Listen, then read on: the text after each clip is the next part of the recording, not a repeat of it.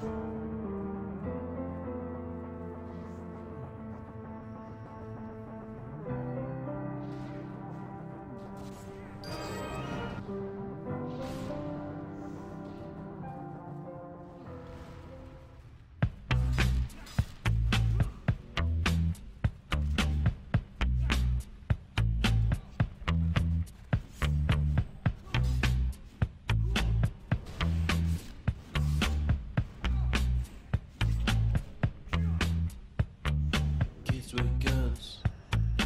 kids with guns taking over.